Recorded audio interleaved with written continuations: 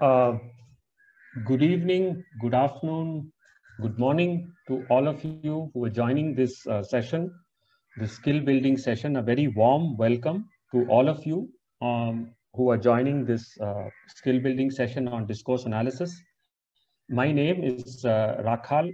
Uh, I'm a professor in the Achyutha Center for Health Science Studies um, in uh, Trivandrum, Kerala.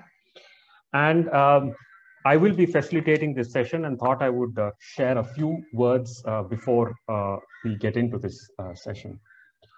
What brings uh, all the speakers in this session together is the fact that uh, in engaging with an HPSR question in our respective research, we were led to or literally stumbled upon discourse analysis.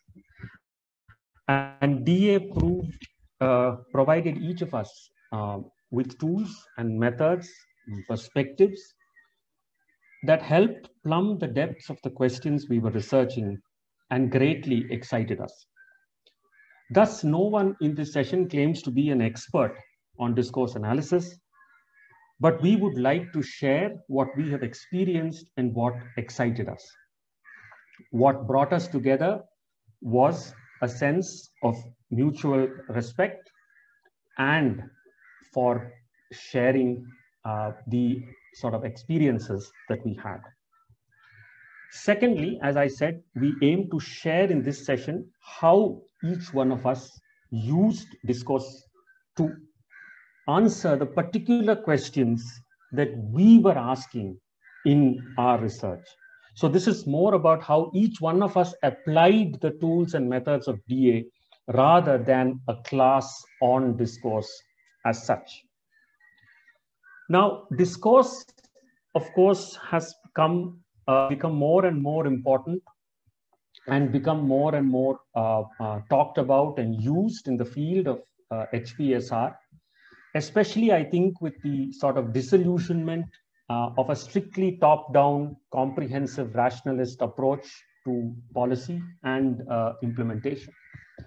And the more we see and recognize policy as a multi-level, iterative, and a complex process, we recognize immediately the uh, extreme importance of uh, ideas and meaning.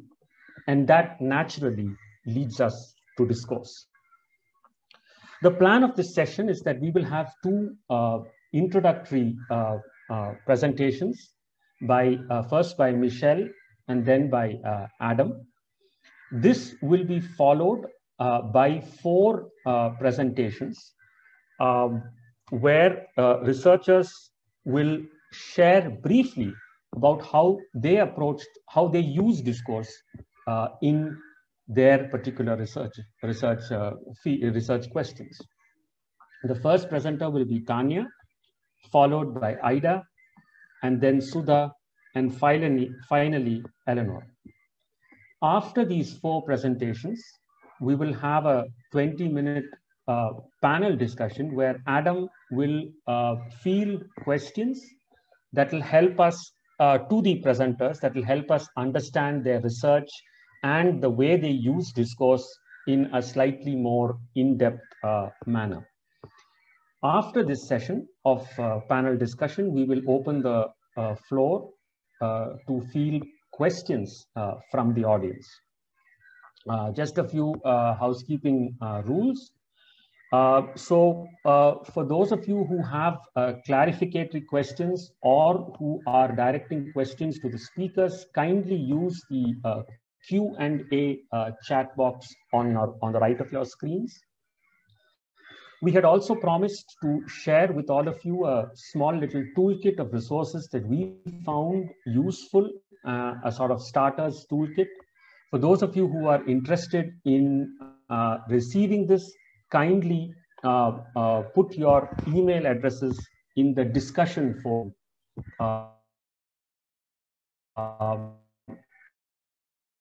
That you will find uh, there.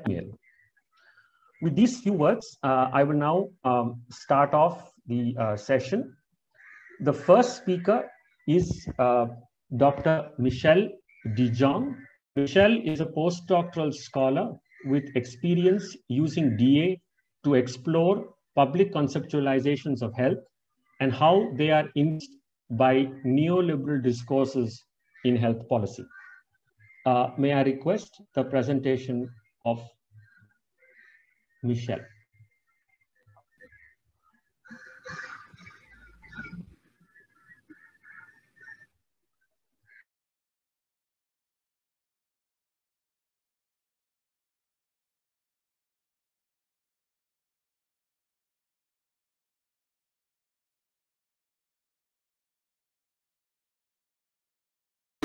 Discourse analysis, theoretical underpinnings.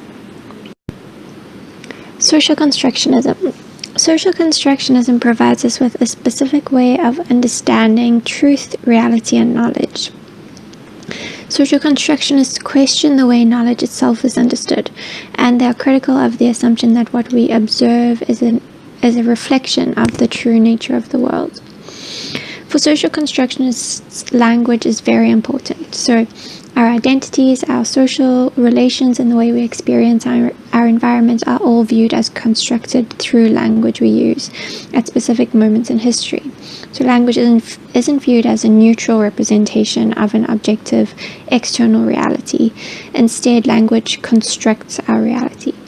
Language constrains what we can and can't say, and what we can and can't understand.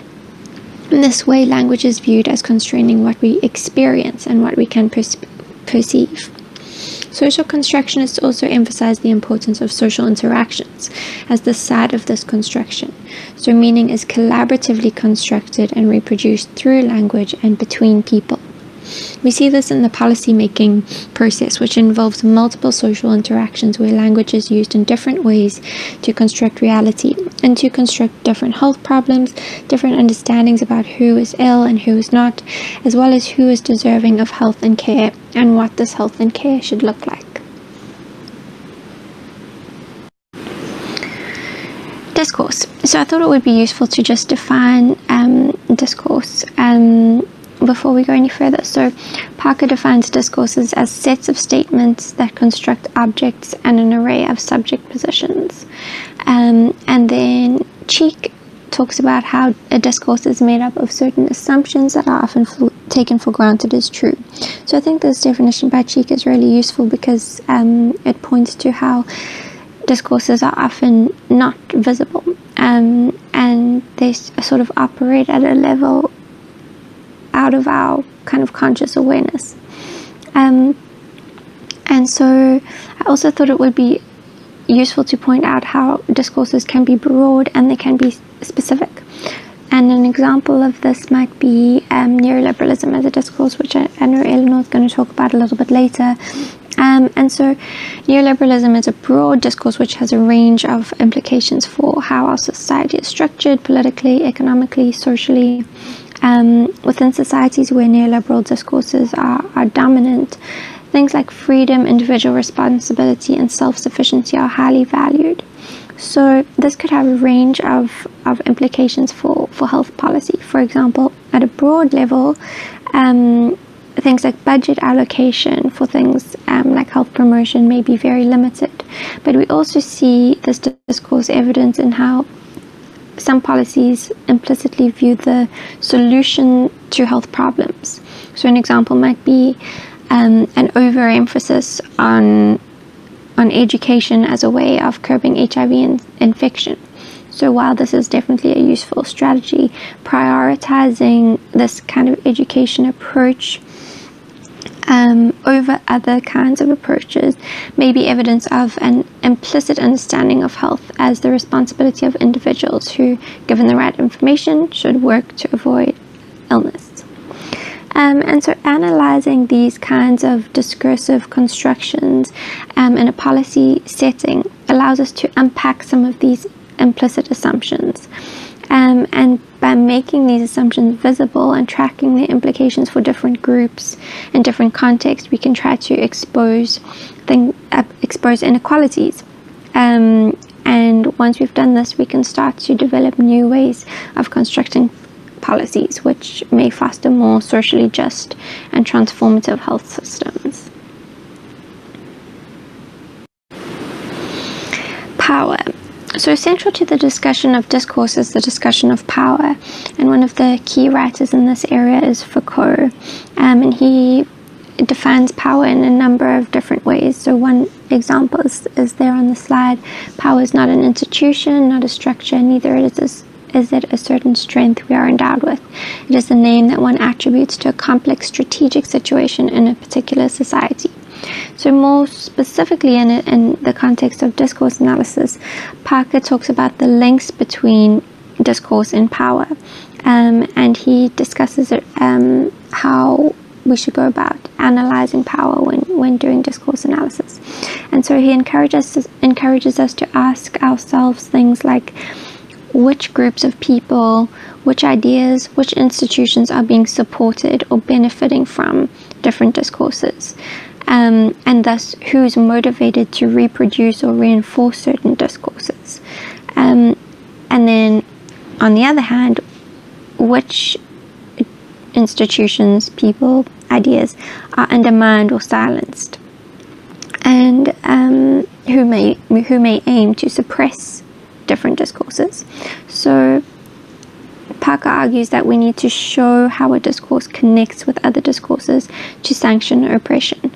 Um, and this kind of provides a, um, a social responsibility to discourse analytic research, where um, an analysis of power is intended to make visible systems of inequality in an attempt to overcome them. Um, an example of, of discourse being used for po- political purposes in a policy-making context can be seen in an attempt in South Africa to ban alcohol advertisements in sports. So, after there was this proposed policy, there was a meeting on um, the role of alcohol advertising in sports. And alcohol industry representatives drew on a scarce resources discourse to argue that the alcohol industry was in fact saving the government money by sponsoring sporting events which would otherwise need to be supported by government budgets. And here we see how language is being used to promote the interests of a specific group um, and reproduce the, the status quo. And then lastly, I wanted to talk about time. So, a number of the researchers who are going to be presenting later show how discourses are have a history and are specific to, to certain time periods. So we'll see how discourses change over time and how they refer back to each other and to other discourses which came which came before them. Um, discourses sometimes replace and alter other discourses, um, and this process has political implications. Um, and then relating back to what we talked about about power, discourses allow certain people to make history move in a certain way. Um, and then the dominance of powerful discourses emerge over time and through repeated use. Um, and the power of different discourses often develops over very long stretches of time. And so, tracing the history of, of how different discourses originated enables us to begin to understand their dominance in, in different contexts. Um, and this provides us with insight into how we arrived at the status quo and perhaps what we can do to, to alter it.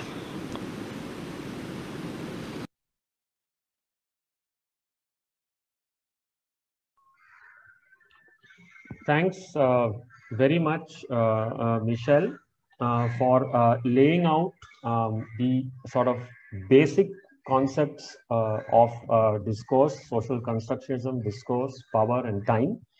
Um, I now uh, will uh, call upon um, Dr. Adam Koon, who's a faculty of the Johns Hopkins University, United States.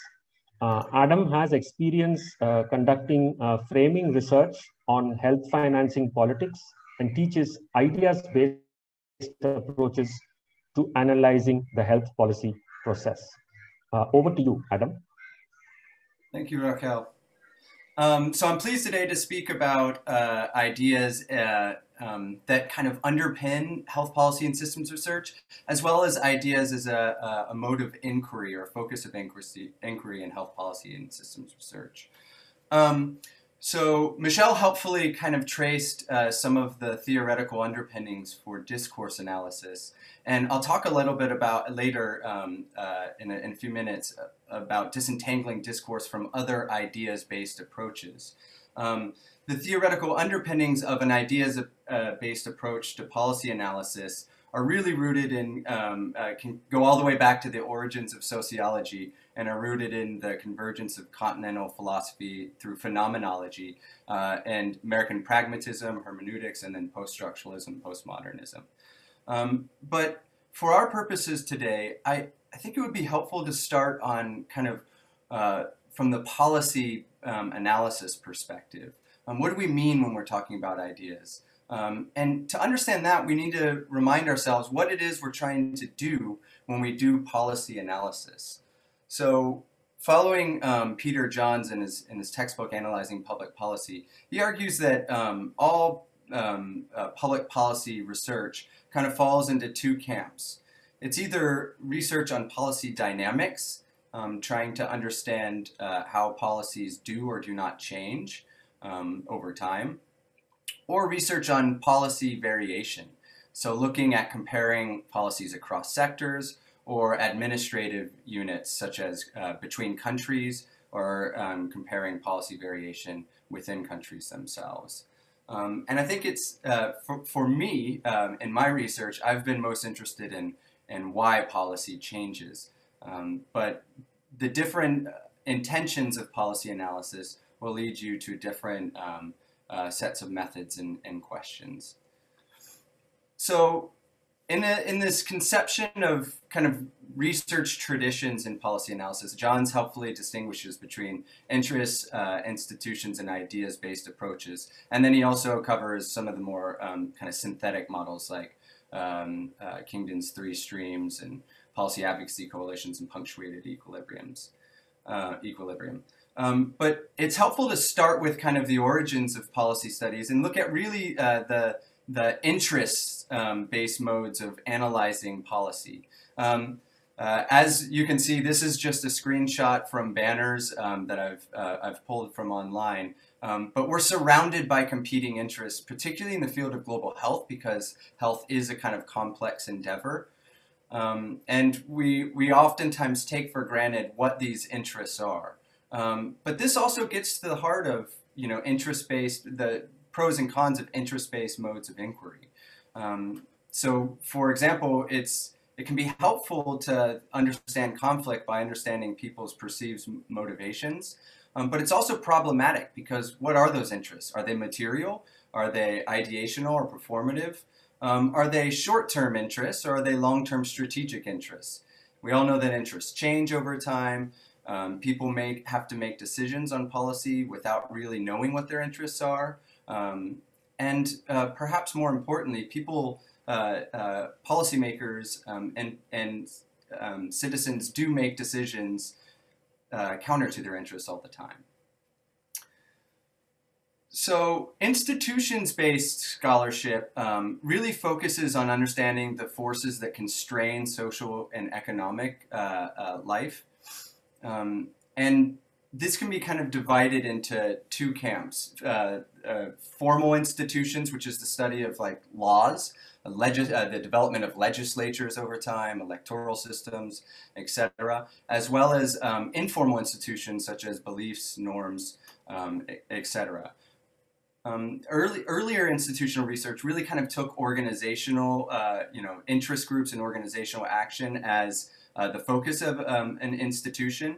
Um, but there was a shift in the mid 80s to understand institutions as the rules of the game. And as this cartoon illustrates, um, uh, without institutions, without rules, um, social life is fairly chaotic.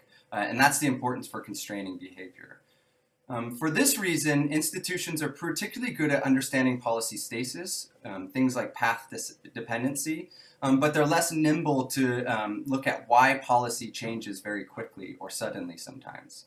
Um, uh, Institution-based modes of inquiry do uh, tend to be, for, for this reason, they're, they're good at analyzing incremental slow change and over broad historical periods.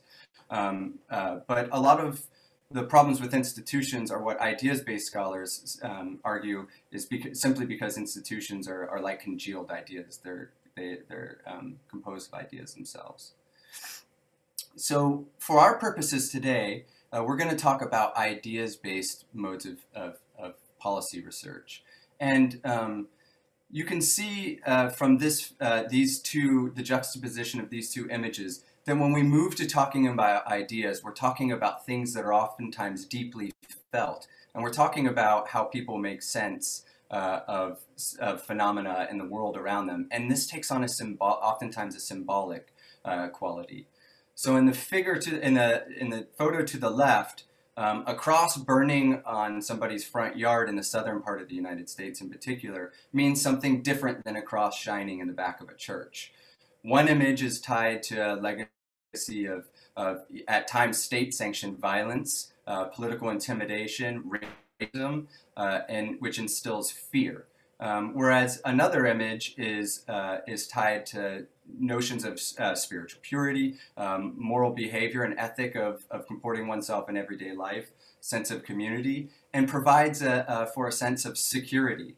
So they're both crosses, but they mean very different things, and in some cases are very painful uh, and deeply felt uh, feelings. And I'd argue that uh, politicians know this, which is why uh, you hear in, in, the realm of politics people talking very symbolically. Um, so when we think of ideas uh, and how um, uh, in the policy process they're wielded for, strategically, some, some scholars argue that all politics and all policy making boils down to a contest of ideas. Deborah Stone argues that some of these can be think, uh, thought of as conflicts over goals. So these could be social values such as equity, um, welfare, security, efficiency, etc. Um, but they could also be over um, uh, conflicts over how to define a problem, and uh, oftentimes uh, actors competing to define a problem in a way that uh, is amenable to the solutions they have uh, readily at their disposal. So if we move to um, uh, if we move to looking in the policy analysis space that's more focused on the, um, the, the, health sector specifically, Katherine Smith um, has kind of uh, elaborated a little bit more. It resembles Deborah Stone's earlier conception of, of, of ideas. Um, but Katherine Smith uses, cites Daniel Béland to argue that um, uh, ideas are really located at three distinct levels in the policy process. Um, the first is, uh, uh is as depicted as ideologies and broad organizing frameworks. And this brings to the fore um, uh, the role of values. And as such, it's connected to um, other um, large concepts such as policy paradigms and the referential. The second interpretation of ideas is found in the agenda setting uh, literature. Um, so this is usually an intermediate level where ideas are taken as policy frames um, and can be characterized as weapons of advocacy or wielded, uh, that are wielded for purposes of strategic gain. Um, this helps to define problems, but it also uh, uh, identifies and locates parties privy to the controversy. And finally, the third level um, is really on simple policy proposals themselves. Um, so it's while this heuristic is, is can be helpful, it's important to note, as uh, Daniel Béland has reminded us, that um, ideas oftentimes assume various forms and can coexist at multiple levels in policy research. That said, um, uh, scholars have consistently cautioned against using vague catch-all concepts such as ideas simply because uh, they extend their influence to too many types of social phenomena to be theoretically useful. Um, the book on the right is uh, an edited volume by Daniel Béland and Robert Henry Cox, um, where they uh, they kind of sample. Um, it's about ten years old, where they sample the terrain of uh, political and sociological research on um, ideas and policy studies. Um, and one of the things that the trends that kind of they take as their operating definition ideas as causal beliefs, which is somewhat of a narrow approach. Um, but but the theme that emerges is that ideas are good for explaining change, um, but they but they are ambiguous. And Peter Johns in his uh, in his policy analysis textbook uh, points out that um, and some of the more interpretive and theoretical versions of ideas-based research um, they become philosophical treatments as opposed to empirical research projects. Um, as Michelle helpfully kind of oriented us, um, uh, to discourse, I thought it would be uh, before we get going into our panels, it's important to distinguish between kind of overlapping concepts that you oftentimes hear in ideas-based research, and these are related to discourse, uh, framing or frames, and um, narratives or stories. Um, and while it's important to note that uh, individuals, researchers, um, oftentimes use the terms interchangeably, um, and they do mean different things to different people. Um, they, there are some distinctions with it, which I think it's helpful to highlight. Raul Lejano, uh, I, and for my understanding, I drew heavily on um, a nice description from Raul Lejano and his uh, work on narrative. Um, I'm not going to cover Michelle, uh, uh, discourse analysis in detail because Michelle has given us a helpful theoretical orientation, uh, um, and we'll hear a lot about it later today. Um, but that's to say that what differentiates discourse from framing and, and narratives is that it's tied to larger systems of meaning, and as such, it fundamentally concerns the distribution of power and knowledge within society.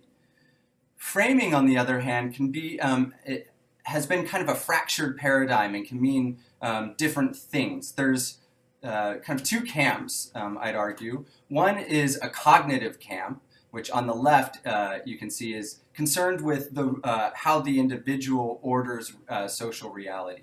Um, so this is a cognitive, cognitively coherent uh, uh, schema for organizing the world and understanding it, our role in it. Um, but there's less of an individualistic and more of an interactive approach that focuses on the intersubjective of, uh, uh, construction of meaning. Um, and these interactive framing approaches really look at how uh, the world is understood through frame, framings that are constructed between the noses, so to speak, of multiple individuals. And then finally, when we come to narratives and stories, um, these have discrete elements. So one, uh, they are narrated by someone. Um, two, they uh, have a, typically a sequence of events. So they have beginnings, middles, and ends. Um, they have characters that do things in them. And uh, through imploding uh, identity and action into an order, um, uh, these provide fairly plausible explanations of po uh, policy change. It almost doesn't matter how accurate they are as much as how plausible they are. Um, and so in this way, I think, uh, you know, if we think about discourses as more, uh, discourses broader and frames as kind of an intermediate level, um, and that is to say that framing is part of narrative and storytelling, which is all part of a discourse. Um, and some would argue that um, uh, storytelling is constitutive of the other uh, of discourse and framing as well. Um, uh, but these distinctions are real, and you will see this in um, ideas-based research. Just before we get going, it's helpful to flag that there is a body of scholarship underpinned kind of by larger theoretical movements in social sciences and humanities uh, concerning the narrative turn, the interpretive turn, the argumentative turn. Um, and this is under the banner, this is kind of fallen under the banner of critical policy studies. Their flagship journals in the upper left-hand corner. Um, but as this is a skills building session, um, you know, uh, thought it would be helpful to share a number of, of um, kind of manuals and handbooks for how to think um, and research uh, in the ideas-based space. And a lot of these researchers share similar uh, values with, a, a, with an emphasis um, uh, to the health policy and systems research policies um, analysts. Uh, they focus on the policy, pro, uh, policy as a process and, uh, and, the primacy of ideas um, and its relationship to interests and institutions. Um, and really they question kind of the fact value uh, dichotomy um, in, in, the policy process. So I'm um, really looking forward to this discussion um, and I can't wait to, to hear what uh, some of the um, some of the panelists presentations coming up. Thank you. Thanks uh, very much, uh, Adam, uh, for that uh, very lucid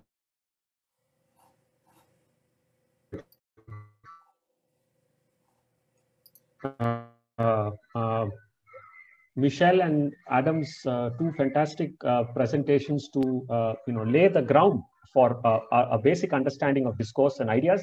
May I invite Tanya to make the first presentation? Um, Tanya is a PhD candidate uh, at the School of Public Health, University of the Western Cape, uh, South Africa. She's also a consultant working with the intersections of gender, health systems, um, and uh, social justice. Uh, over to you, Tanya. Good afternoon. Greetings, everyone. Can you hear me? Yes, we can, Tanya. Great. Thanks, Rakhal. And thank you to Rakhal, Michelle, and Adam for leading us um, in the session. So greetings to all the participants. Um, I live in Cape Town, and I'm really grateful and excited about this opportunity and being part of the session. Today, I'm going to share with you some of my experiences and reflections of using discourse analysis, really focusing on the why, why I used it, um, and how I used it. Uh, moving on, so as Rakhal mentioned, this is part of an overall PhD research process. Um, and some of the findings will really be expounded in a forthcoming paper in health policy and planning.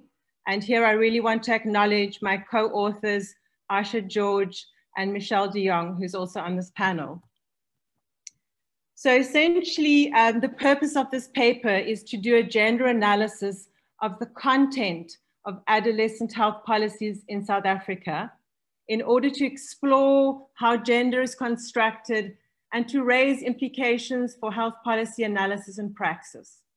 So that's really what our intention was with this particular paper. So how we ended up using CDA after lots of reading and lots of discussions, we were really guided by our phenomenon of interest. As Rakhal mentioned, our question um, and our interest guided us to begin to explore critical discourse analysis. So in the work that we've done, we've used the notion of discourse as social practice um, and policies as productive. And I've listed a few authors that talk a lot more about that. Um, uh, CDA was really a relevant theoretical and analytical approach um, which allowed us to make uh, um, analytical and interpretive understandings in terms of the context, the actors, the power relations, and how this all relates um, to policy processes.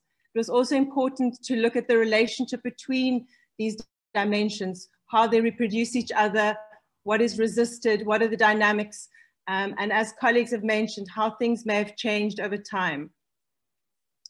And in our particular study, we focused on policy documents.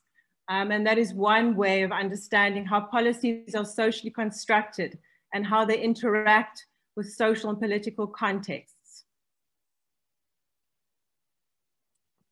So for our research, our data was policy documents by national government that have a mandate for policy development. Through our searches, we identified 15 key policy documents relevant to adolescent health, and these dated from 2003 to 2018.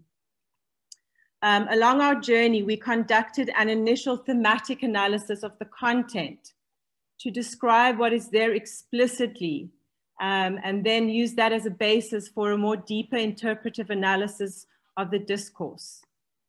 And we also drew on the work of Carol Bacchi, through her What's the Problem Represented to Be approach. And this approach really explores what is problematized, what is focused on, and what is left unproblematized, what is missing or silent. And here I've just shared with you the six questions that guide the work and that form part of her framework. So I'll just give you a minute to have a browse. I'm not going through all of them. So how do we use it exactly? The things that don't really end up in all the, the methodological sections of journals. Um, we started off with a very broad identification and mapping of discourses in terms of gender and adolescent health. Uh, really just mapping what was there, what did we see, um, what emerged. The next step of our analysis was really beginning to look at the relationship between these discourses, how, which ones are dominant, which ones are more marginalized, and where the silences exist in relation to gender and adolescent health.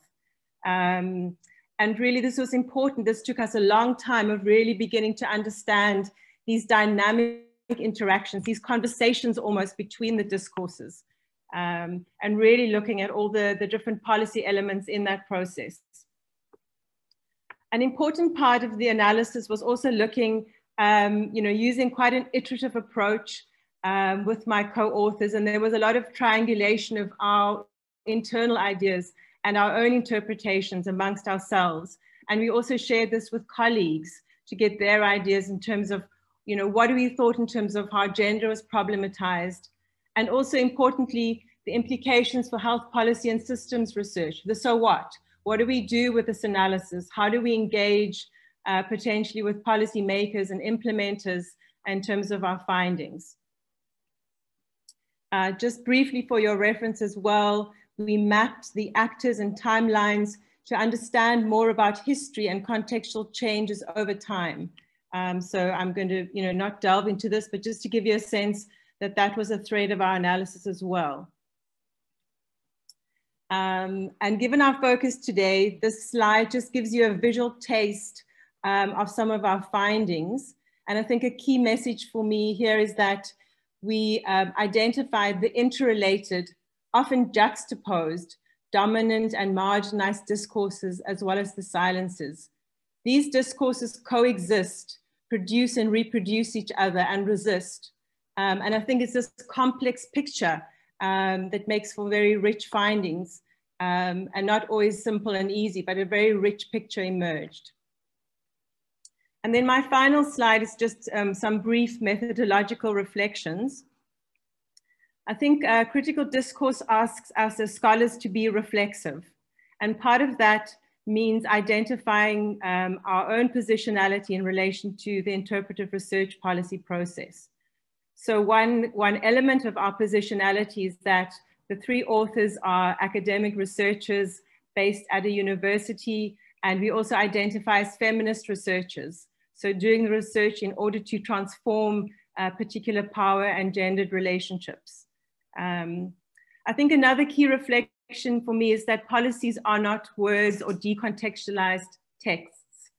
Um, and this is where CDA has been very helpful in making us understand how policies are socially constructed um, through and with actors and in contexts, and how gender discourses are embedded in these policy documents. However, uh, using policy documents alone has certain limitations um, and in terms of understanding certain policy elements. So um, in future papers, we're going to be foregrounding the voices of actors um, and their ideological positions, their understandings um, as part of the process. And then finally, given the terrain and the vast literature um, and the history and context of different disciplines, I think one of the challenges I certainly experienced was how to integrate the richness of critical discourse analysis, as well as the richness and, and wealth of knowledge from gender analyses, uh, and write largely for a health policy and systems uh, research audience, particularly when you're limited to uh, 6,000 words. Um, it was a wonderful journey, um, and I really look forward to our discussions. I just want to acknowledge uh, my colleagues and my supervisor and the funding that we've received. Thanks so much, Rakhal and colleagues.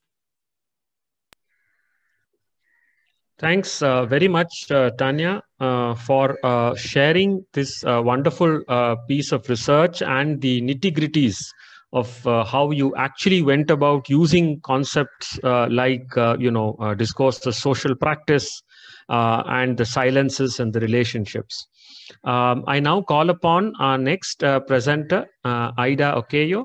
Uh, Ida is a PhD candidate uh, who, in fact, just uh, submitted her PhD uh, very recently, exploring how policy frames are entrenched over time and reinforced by historical political moments, and ultimately constrain or enable intersectoral policy action.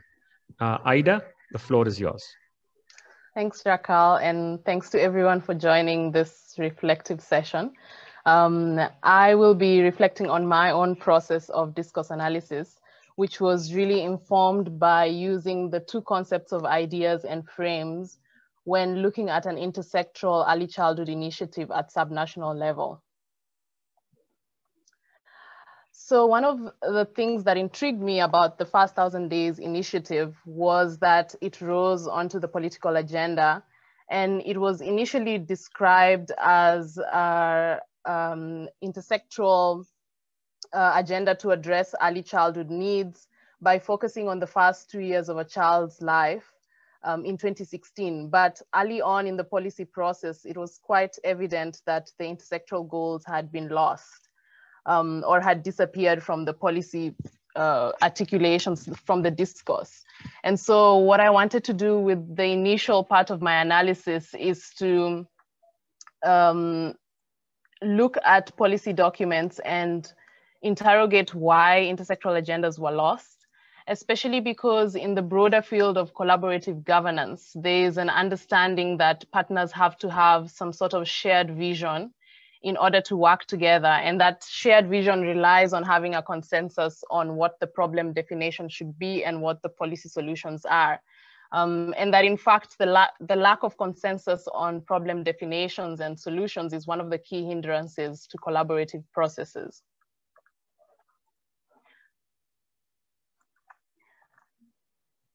And so what the concepts of ideas and frames, which have already been well laid out, but I have put the definitions here as a reminder, what those two concepts offered for me was a way to consider how policy actors embrace their reality and how they construct policy interventions within that specific reality.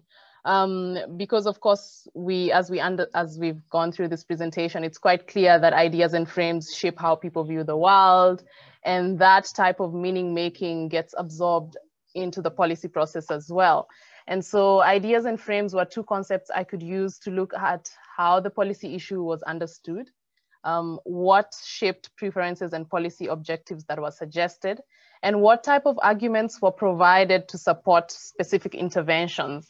Um, especially because this was an intersectoral policy issue. And so one could predict that there would be differing opinions on solutions. Um, and also because the policy itself was at the stage of decision making regarding intervention, so the policy formulation or adoption stages. And so these two concepts made sense for me to look at what um, happens during those stages. So I was quite new to the field of health policy research broadly and had never used discourse analysis before. And so I struggled in the beginning um, with particular issues. The first was how extensive, uh, which policy documents to look at, uh, which types, how many documents to consider. And for my particular policy, it was quite new into the policy sphere. And so I struggled with selecting um, how many documents because of the initiative itself wasn't well articulated in a number of policy texts, but was referred to as a broad goal or a broad agenda. Um, and then there was uh, struggling with the literature on which discourse element to actually analyze for. Um, do you look at frames? Do you look at ideas? Or do you look at other discourses? Um, and then, of course, within framing analysis, there's different types of analysis, and uh, one has to select which specific one to, to use. Um, and in terms of time and history, I was, in my study, I wanted to look at how the specific initiative evolved over time, but I wasn't quite sure how far back to look, how far to analyze, um, whether to consider the whole entire history of intersectoral agendas or not. And eventually what I settled for was the Schmidt typology of ideas, which allowed me to begin coding the documents uh, focused specifically on ideas at that stage. So what I uh, used was this understanding of ideas in three levels. That ideas can be policy solutions suggested to address the problem. And the second level involves specific policy programs which have their objectives and implementation plans, for example. And underneath those two levels is underlying worldviews which shape why particular solutions are suggested. And using this three typology, I could then start coding my policy documents as shown in this slide. Um, and using an Excel document to extract particular parts of policy text that referred to each um, code. In addition to that, because my study was focused broadly on intersectoral collaboration, I then extracted particular discourse that talked about intersectorality uh, because that allowed me to then have a further interpretation and link ideas, frames, and intersectoral strategies. Um, so this is just a slide to show what the eventual picture that emerged. And just to say at this stage that this, um, that once you do the coding process, you then realize that you have to link what you have found back to your research question. And I think this is where this type of um, linking helped in my study and emerged after conversations with supervisors and in efforts when trying to write the first and second draft of the paper. Um, because I could then see that out of the ideas that were present in policy documents, that there were three main frames of how the policy issue was viewed and to link the three frames with different levels and of course, different intersectoral solutions or processes suggested. Um, and at the last stage, I, after submitting a paper, I then had, you know, one of the reviewers ask, well, what does this mean for intersectoral action? What, are, are the three frames completely different or are they linked in any way? And this was a further level of interpretation to try and um, link whether the frames themselves were separate entities or whether they were linked in one particular way and what that meant for intersectoral collaboration. And in my case, there was a clear picture that all three frames were necessary for addressing the policy issue. But as they stood in policy text, they were all separated. And that meant that you know, there wasn't a clear agenda for how to uh, address the first thousand days. And each specific frame had a specific intersectoral process attached to it. Um, and so this really you know, presented the issue that in dealing with intersectoral policies, there is a need to um, consider different interests and how those interests interact and how to navigate those um, different ideas and interests. Um, and lastly, a reflection on the process of it. I think it was very valuable for me to do this type of analysis while starting my interview process and while observing um, the policy process because I could then link what I was seeing from the documents and what was emerging from interviews. Um, it was helpful for me as a novice researcher to discuss some of these findings with my supervisors, with other mentors, with other peers. Um, and one of the main issues was trying to consider whether there were similar or contrasting ideas across documents and what that meant for the specific policy issue I was looking at. And through that, I was able to clearly see that there was an influence of global ideas at national level and at different iterations of the policy. But also the three points uh, really capture the, the fact that you have to be cognizant of where you're coming from as you as you engage in this type of research, what type of assumptions you're carrying, as as Tanya said, and how this shaped the data collection process. Thank you very much. And just the last slide shows where the paper is for those who might want to read on. Thank you. Thank you so much, uh, Aida, for that uh, uh, deconstruction of consensus um, in your in your research. Uh, I think it's really helpful, and those practical tips about coding and putting them back together and looking for relationships, I think, are something really, really helpful for any researchers, uh, you know, setting out to do policy analysis. I now call upon our next speaker, um, Sudha Ramani. Uh, Sudha is a PhD candidate uh, using uh, rhetoric analysis to understand the history of PHC policies in India and explore the disjuncture between policy framing and implementation studies. Uh, over to you, Sudha.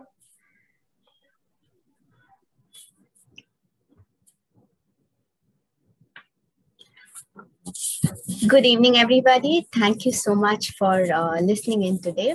Uh, right after uh, Aida's wonderful presentation on intersectoral policies in South Africa, I am uh, very excited to bring to you all an example from India. Uh, this study was done as a part of my PhD, and its focus is on unpacking uh, the historical policy context that surrounds primary health centers in India.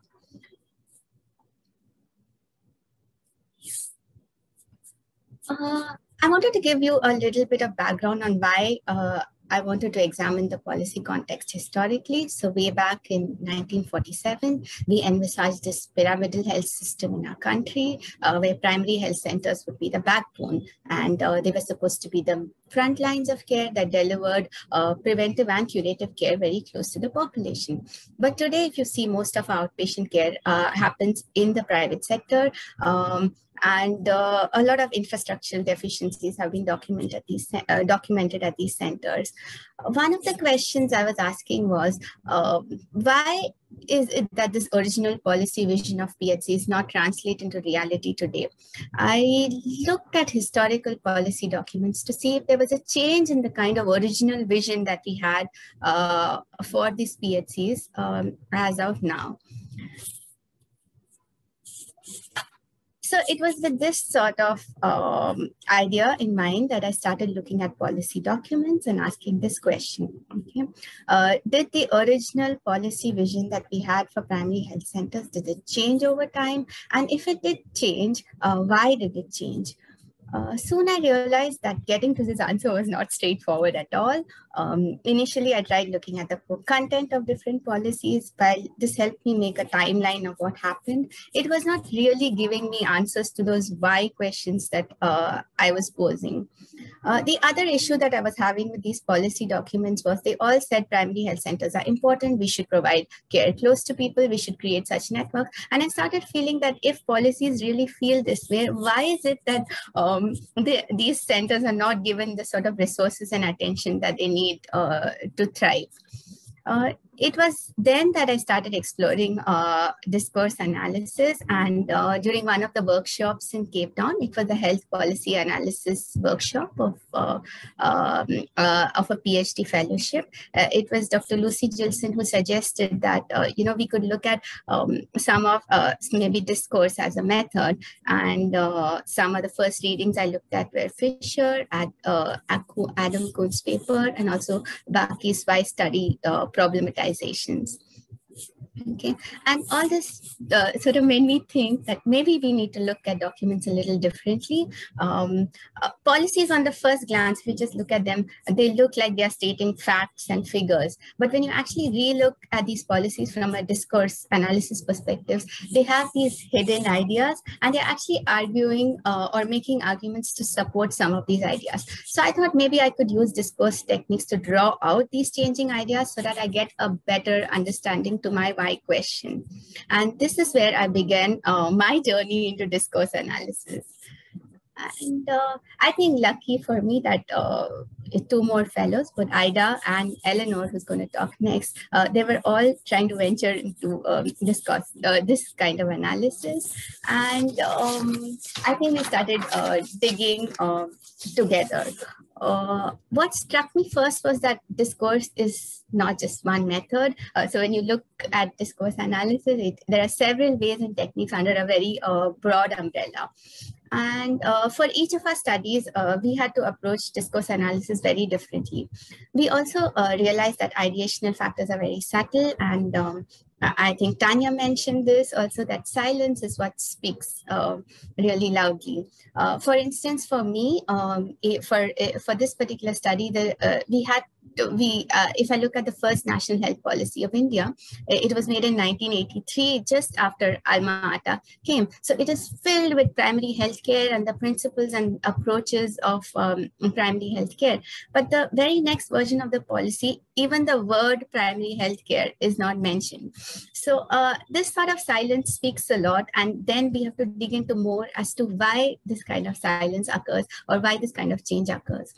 Uh, I think I was also having uh, some issues trying to define what exactly is a policy document. For uh, you know, uh, uh, we did not even have a national health policy till 1983. So, but PHCs were conceptualized much before that. So, should I start a little later or much earlier on in the prog uh, in the process of identifying policies? Uh, in the end, I think this is uh, this. I just wanted to give an overview of the methodology I chose. Uh, I started with 13 national policy documents, uh, all of which were in public domain, and these were all prescriptive uh, in the sense that they they had some arguments for a way forward. Uh, another thing that helped me was 12 year, five year. These are more economic plans, but they had a vision for the way forward, which really helped me. And we had this list of policy documents vetted by a few experts uh, who could tell me whether uh, this was adequate or not. Uh, after that, uh, what I did was open coded and cut uh, you know different themes from these documents. Exactly the way uh, one would code an interview transcript in um, qualitative research. And uh, this this was in fact suggested by uh, in one of uh, who's who's there as a part of this forum also. And um, uh, to, to just uh, to almost treat it like a qualitative interview transcript and sort of code. But instead of coding just uh, the, I, was specifically coding for ideas and changing ideas, uh, or rather ideational factors in these uh, documents. Um, I also found out that uh, as I was going through it, I was also trying to arrange or group these ideas together in my mind. And I felt that these ideas could be arranged at different levels. Uh, so, so some of these ideas were about how health was conceptualized, you know. So is, is health looked at as a, say, development issue, or is it uh, looked at as something, you know, specific um, to a particular sector, uh, uh, but some of them were also about, um, uh, say, how health systems were conceptualized. You know, whether uh, whether care should be comprehensive or selective, or uh, we we should provide care horizontally or vertically. So uh, mm, things like that. There were also these macro political ideologies. Although these were at different levels, they were they, they're also sort of interlinked. For example, say a one way of looking at health also informs the way we look at health systems. So they also had these interlinkages.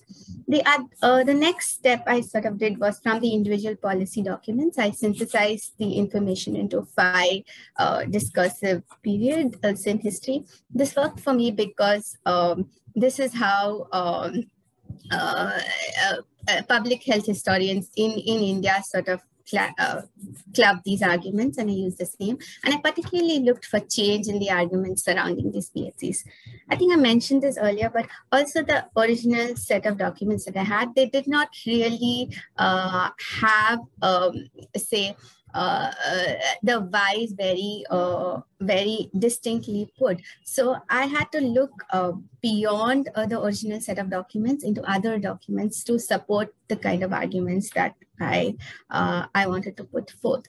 Uh, the other thing uh, was that in my uh, in my study particularly there was a lot of dissonance between the rhetoric and the action frames which was which were guiding policy solutions. And this was happening even within the same document. For example um, so I, I, mean and rhetoric and action i mean that you know the what the policy said it believed in like um, uh, you know I, we should have a comprehensive healthcare system and it should be close to the community so the, the beliefs in the policy.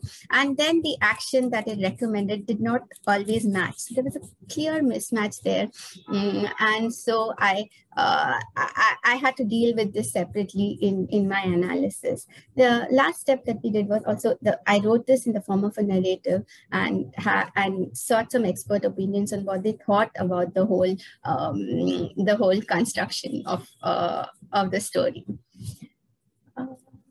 Uh, I think one big uh, learning for me has been that uh, uh through this, uh, through this, uh, going through this process was that uh, policies are not really as coherent as we we want them to be in the ideas. And I thought the ideas and arguments would be very clear, and that was a very naive idea that uh, I had in my mind. So digging into ideas is a very uh, messy and iterative process, uh, but it's also a very uh, interesting process. And uh, I think this course opened uh, a new view into the policy documents, which I didn't have before. so it, it, was a great, a great, it was, a, it's a great set of tools that is worth exploring is what I would say. so thank you for listening in today and please please give your comments, your thoughts, and any questions that you have. Uh, they are most welcome. Thank you. Thank you uh, very much, uh, Sudha, uh, uh, for helping us understand how you uh, read documents differently. And interesting to see how actually discourse can even translate into, you know, physical structures, primary health centers in India. and their functioning. So I, I next call upon um, Eleanor uh, who is uh, uh, Eleanor is a PhD candidate conducting a longitudinal analysis of the national health insurance policy in South Africa to explore the influence of a polit political context on uh, policy discourse. Eleanor, the floor is yours.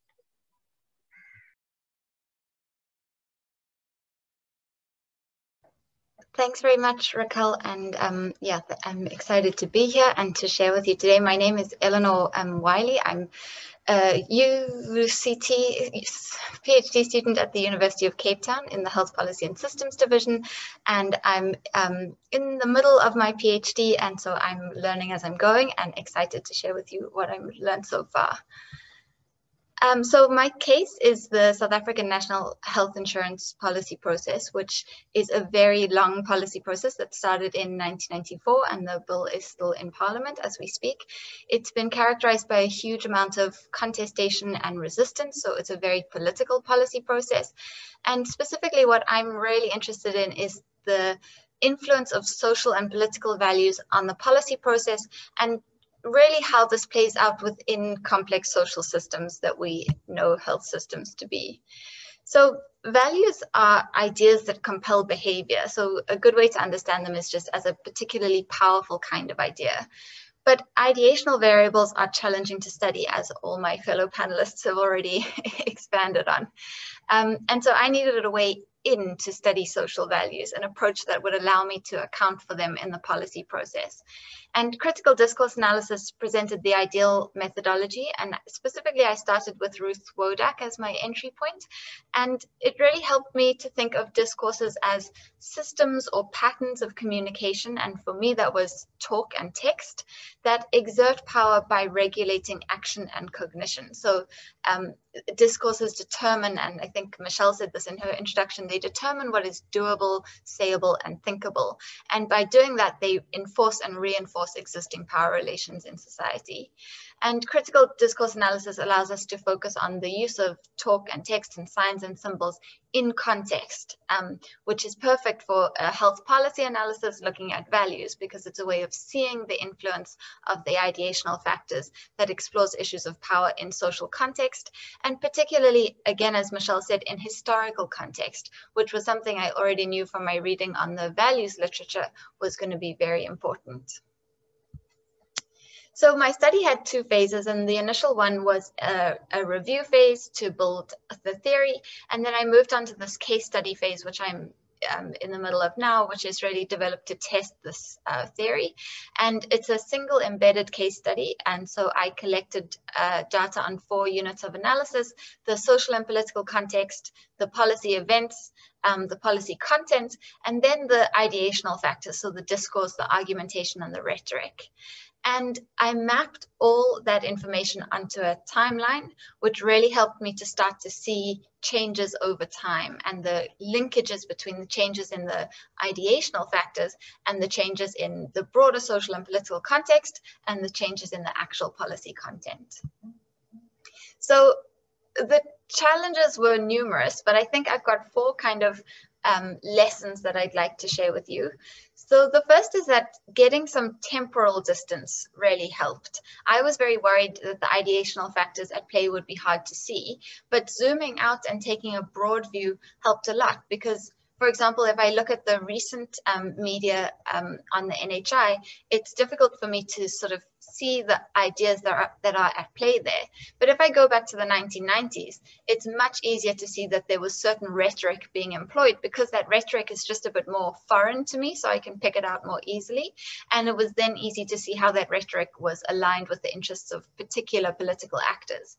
And then I could trace those ideas, so I could identify sort of ideas in the rhetoric, and then I could trace them forward, which helped me to see how they played out over time. So for example, um, in a January 93 uh, newspaper article, there's this idea of the ANC's health plan being unrealistic and idealistic. And this sort of construing of the NHI as naive and unserious is a discourse that continued to play out throughout the policy process, although the evidence um, presented in defense of that discourse started to change. Um, it also helped kind of because the macro level view allowed me to um, know what to be looking for a little bit. So for example, um, from a sort of historical standpoint, you can see that neoliberalism is hitting LMICs hard in the 90s, especially the early 90s. And this was really when the sort of uh, policy uh, agenda setting for NHI was uh, taking place. And so once you know that, you know to look for neoliberal discourses in the um, in the in the policy process at that time. So it kind of pointed towards the discourses to look for. Another thing that really helped was to think of discourses as being a spectrum of ideas rather than to think of it as being one block of idea, to think of it as being sort of a spectrum of almost opposing ideas. And this also helped to overcome the challenge of finding hidden values in the in the policy process or finding the differences between espoused values and values in action. So for example, um, talk of social solidarity is often found as a challenging discourse within a larger discussion about freedom, the rights of the consumer, and like you get what you pay for. So those two discourses are at odds with each other. But once you see the more prominent one, you can also start to um, find the more challenging discourse that's, that's hidden beneath. And then um, another example is um, arguments that pay lip service to the value of platforms for government um, delivery of care within a broader discourse that assumes the superiority of the private sector based on arguments that imply absolute trust in the market. Then my third lesson, I think, and I think um, Tanya mentioned this already, is to focus on actors. And for me, this idea came from Sheri Berman, that it's easier not to think of ideational factors as forces of nature, but to think of them as um, tools that are carried by certain actors. So they are tools wielded by powerful actors in line with their values, ideology, ideological commitments, and interests. So if you're struggling to identify a discourse, in other words, to connect what's being said to broader issues of power in the social world, it's helpful to consider who's doing the talking and what their interests and ideological commitments are. And then lastly, um, one of the big challenges is that sometimes it's difficult to see the difference ideas make. It's different to show that they that something happened because of the of the power of ideas, and this is because in complex systems, causality is complex. Um, an observed outcome, like a policy change, might have a number of contributing causes, of which ideas are just one. So, what helped um, in this regard was firstly to think of sort of a process tracing methodology, which involves going deep into instances of decision making to understand the ideas that are, uh, that are at play in those instances of decision making. And then another, another tip for me was to remember that ideas are dynamic, and Adam mentioned this, that they become instantiated over time in institutions, in practices, in ways of doing things. And so they become, if not just, then at least sort of morally acceptable. And this means that we can identify the power of ideas in practices and from there argue that the practice was causally significant. So in the South African case, um, most parliamentarians in South Africa are now members of medical aids and use private health services. So that, and that's a reflection of a value-based or value laden idea about the supremacy of the private sector that connects with the kind of neoliberal discourse. But then that reality, those daily practice, then are powerful in that they undercut um, values based arguments for radical restructuring that would shrink the private sector. So, in that example, you've got an idea that becomes instantiated in a practice and therefore has a, has a, a sort of causal influence on the policy process. Thank you so much. These are two papers, my first two PhD papers. I'd love for you to take a look at them. And yeah, I'm excited to engage um, in the discussion. Uh, thank you so much, uh, Eleanor. And I think uh, uh you sort of rounded off the uh, four presentations very nicely uh, by, by actually trying to get into the way, sharing a way of actually reaching values, the question of values and their influence, you know, on uh, policy um, itself, policy uh, itself. Yeah.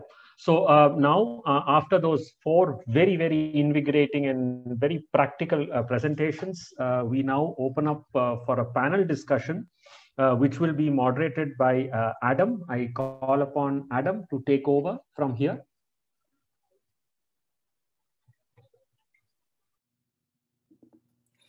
Great. Thank you, Rakhal, and thank you for um, uh, all of our uh, panelists. Um, I think if you could turn on your cameras.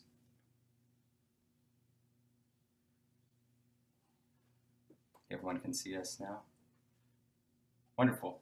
Um, so uh, we've heard a lot of different approaches uh, to studying ideas, um, and in particular with an emphasis on discourse. Um, and I'll remind participants in this session as a skills building session we're really focused on kind of how we're understanding the work we do. And we see this as a collective sense making kind of enterprise. And we reflect uh, on um, on ourselves. And I'd argue, and some people, uh, some panelists may blush because this does feel a little bit new, um, that we are all artists in conversation with our materials. So in that spirit, um, one of the goals of this discussion is to kind of pull out some practical lessons. Some, if somebody's starting this research, what are some of the things that you wish you would have known when you were starting this research, for example? Um, as a as a starting point, um, you know, we have uh, you know some themes across each of the presentations um, regarding the translation of ideas into um, uh, structures or processes um, and looking at how they evolve uh, kind of over time. Um, so I didn't know if uh, who wants to talk a little bit more. Um, I think you know Sudha talks a, uh, very clearly on the way that structured ideas are absorbed into structures. Um, but how did you go about identifying those discourses, for example, uh, Sudha? Um, and, and, and how did you uh, uh, determine the, the sources of your data for making that, um, uh, uh, those, uh, those insights? Thanks, Adam. I think that's a very important question. how did I identify sources um, uh, for answering this kind of complex question. Mm. So initially, I had um, uh, I started off with the uh, uh list of uh, policy documents and I, I didn't know. So uh, one thing about, uh, as I mentioned earlier, was that the, our first health policy in India came only in 1983. So that was our official, uh, first official national level policy document. But even before that, just, just before our independence in 1946, we, we had this very comprehensive vision of the primary health, uh, sorry, of the health system in um, uh, in the country that was laid out. It was called the Bhore Committee Report, and uh, this was the first time that um, uh, that primary health centers were uh, sort of conceptualized uh, in in the Indian setting. And I think some of the ideas we borrowed from the, National Health Service in the UK. Uh, so that was the way it was um, it was initially designed. So I decided that because this is the first point where PHCs were conceptualized, let me start from there and see how they sort of progress. So that was one um, listing. I know like Ida and other people have shorter time frames, but I think we had to really go long uh, into a longer historical time frame. And this was also mainly because um, uh, uh, the uh, what happened to primary health centers today, I cannot explain only with the recent policies because it's it's it's a very old, age-old institution and has a legacy of um, you know uh, a, a, very uh, an old legacy of what it was supposed to be and where it has come now. So it changed a lot over time. So once I had once I started there, I started the initial list was using my own uh, familiarity with uh, you know the indian policy scenario but we also got it vetted by uh, but and also my phd contributed to it. And we then we got the list vetted by three experts. So one was a more academician, and then the other person was a uh, policy maker, and the third person was also a civil society member, so that we can get a mix of perspectives on whether uh, we see, um, you know, whether this will make a, a good jumble of documents. But once I got to those documents, those could um, those could not tell me full detail. So I still had to go. Uh, let's say if, if I if I found a point like. Um, you know for example i had mentioned that you know in our uh, 2002 health policy the primary health care word was completely missing from it. And uh, the phc the as a building completely derives from that kind of philosophy and uh, it, that was completely missing. Uh, uh, when something like this happens i have to go beyond look at not just the policy document but what happened in the context around that you know what what was happening in the world around that. And uh, why is it that uh, you know this kind of change has taken place? And the other thing was sometimes there's also a time lag. If something something happens in, say, is reflected in a policy document, the context surrounding it happens, say, five years or six years ago. So I had to even account for that and then take those um, to take those documents into account. So it was a very iterative process uh, through which we got the uh, question answered. Does that make sense? Or uh, yes, that's helpful. Yeah. Um, and I think uh, you know if we could um, also mm -hmm everybody, does anybody else want to reflect on the sources they used for their data? um, and how they were able to identify these larger. I mean, uh, clearly, Eleanor, um, you also took a, a historical approach with um, and had to map it into a very um, comprehensive timeline. Um, how did you decide yeah. on uh, on on that approach? It seemed to be I a turning point in your research. I I guess I knew that that um, I always knew that the that why the NHI in South Africa made a good case study for the influence of values in particular was that it was such a long policy process because and and one born out of a particular historical moment um, obviously in 1994 that had these like ideological commitments that that um, that uh, sort of formed the the policy process in the first place. And so the the need to to look backwards or to take a long view um, was kind of embedded in the like the the kind of foundational idea of the study, which is that if you take a long view, these the influence of of social and political um, values will become clear because one of the things I, I knew from reading a lot about social values in kind of sociological and social psychology literature was that they don't always change they, they hardly ever change fast. They change slowly um, at the sort of national level, at the societal level. And so therefore the influence of them is hard to see unless you take a long view. And then the kind of um, the, the benefits of taking that long view, I didn't expect at all, but the ability to really um, get some distance from the material that just looking back 25 years gives you was really helpful in terms of doing discourse analysis, which I think one of the kind of common challenges is that you're too, as a as the analyst, you're too much in the discourse to be able to take a step back and, and see it. And um, so that kind of distance was really helpful. And then um, in terms of what uh, what materials you need. I think I like, um, I think Tanya, you said the same thing that originally it seemed like it was going to be fine to just focus on the policy documents and look at the changes in the rhetoric and the discourse in the policy documents over time. And actually policy documents are such weird um, things to analyze because they are so sort of controlled and they don't say what they mean really. There's so much hidden there and it's really difficult to unpack. But then if you combine that and this is what Sudha was saying if you look at that look at the policy document in its historical context so combine it with like history readings like you know academic literature from the faculty the history department um, then suddenly you start to see what else was going on at the time and start to see sort of what could be spurring the kind of subtle differences that you're seeing in the policy documents. And then again, the kind of looking more at the more informal um, sources, so like media analysis, things like um, submissions to committees and stuff like that, where people speak a little bit more freely and kind of betray their ideological commitments a bit more readily. And then once you know what you're looking for, you can start to find them in the policy documents themselves a little bit more. But again, that all just happened because very, I started and then it suddenly became clear that it wasn't going to be possible to just look at the policy documents.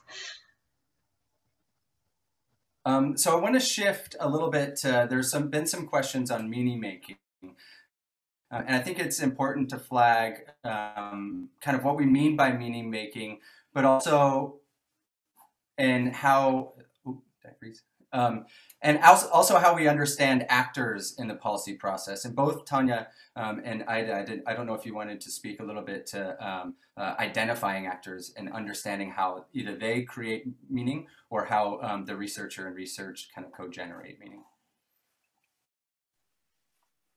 Um, yeah, I can go. I can go fast. Um, so I think for me, meaning making was an important part of the policy, especially because it was an intersectoral, you know, idea that rose onto the political agenda. And so what that meant was that policy actors had to then, you know, view the problem in a certain way and in a way generate solutions. So apply sort of a problem solving, you know, way to um, try and look at what possible solutions can be suitable for this particular problem.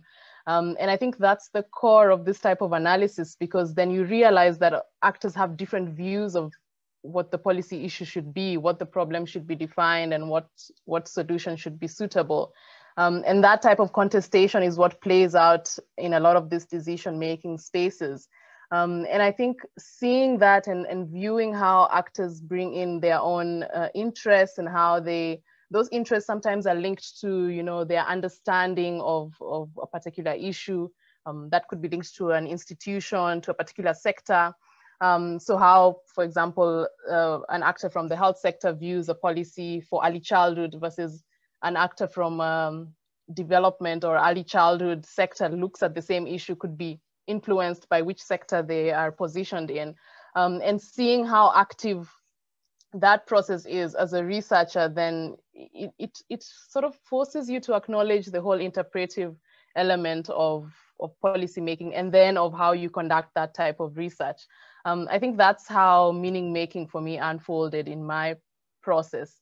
Um, and then also as you analyze, then you also acknowledge that you also bring in your own you know, view of the world while you are doing the analysis process. And so it becomes a, a conversation and, navigate and you navigate those different forms of um, trying to construct the reality for both actors and for both you as the researcher. Um, I think that's how I viewed it in my case.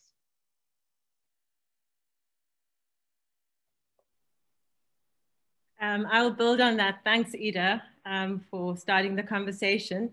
I think for us, um, the initial mapping of the various policies along a timeline um, and the various actors involved really painted a very complex picture um, and a very diverse picture of multiple actors with multiple perspectives.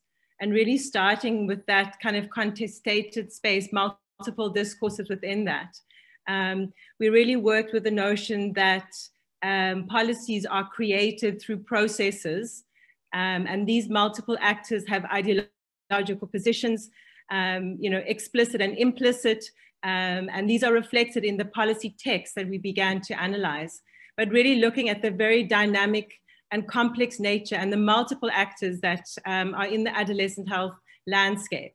Uh, looking at, you know, we also classified policy documents um, along a continuum of whether they are gender responsive or, you know, versus gender transformative. Um, and really getting, you know, getting a picture of the diverse perspectives, how these are classified, how adolescence is understood, how health is understood. Uh, you know, so really painting a very complex picture just based on what was in the policy documents.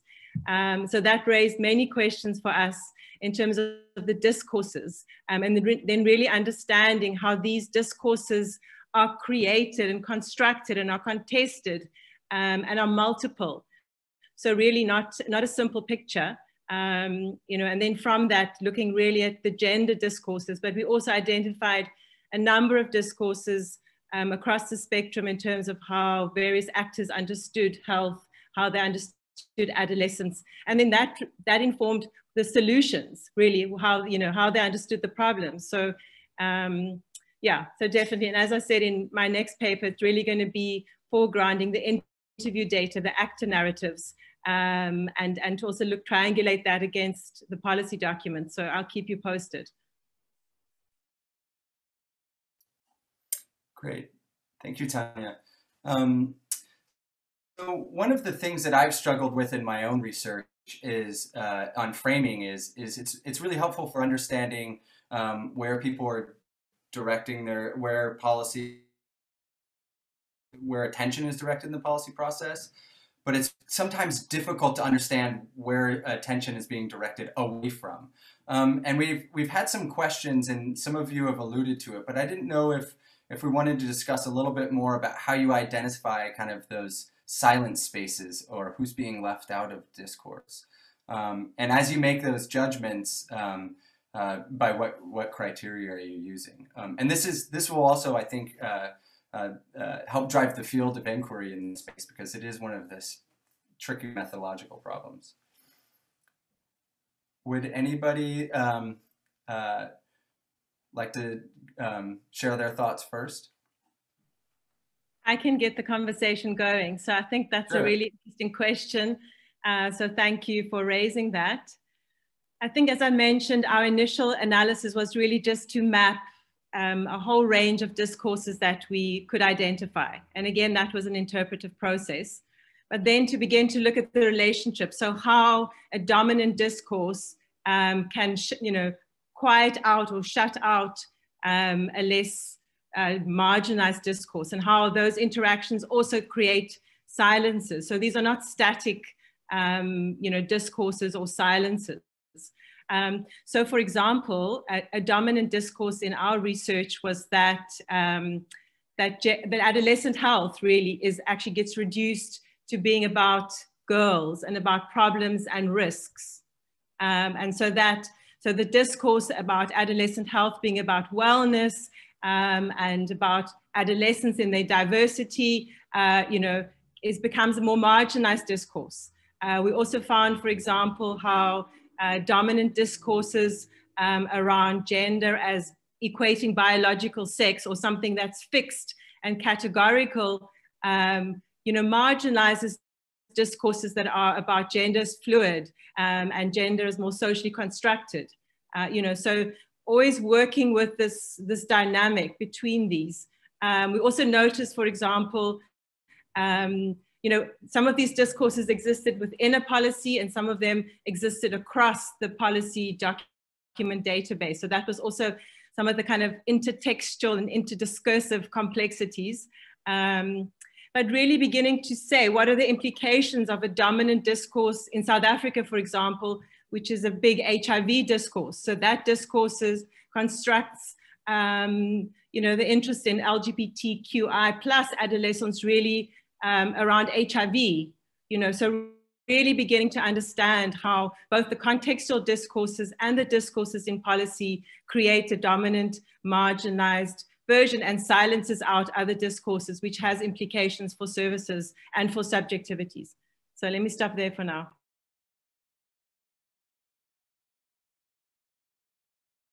I just wanted to add briefly on that because I was reflecting on how sometimes it's easy to assume that what is missing is missing because it's um, it's kind of the challenging discourse and it's uh, um, it's um, you know against the interests of the powerful actors.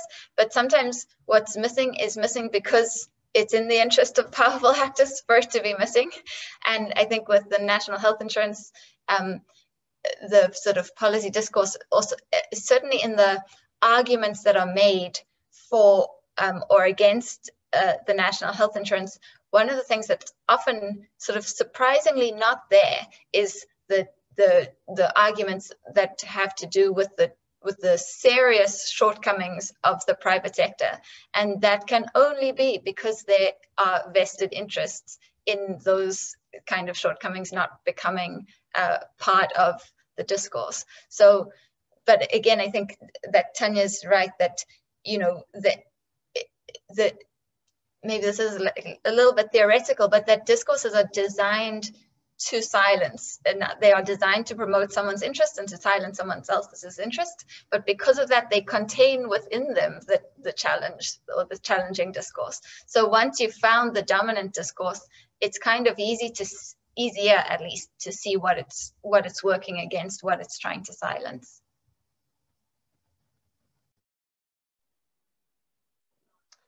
Um, yeah, I was going to add on to that and say, but then there's also the obvious fact that you could be looking for a specific thing and just not find it, like the primary healthcare um, issue of Sudha, that you actually enter the policy, policy text looking for a specific thing. I was looking for intersectoral collaboration strategies, how this would unfold, and you it would just be missing on its own, and that gives you a clear indication of, you know, what's missing in that particular picture, and, and prompts you to dig deep into why that's the case.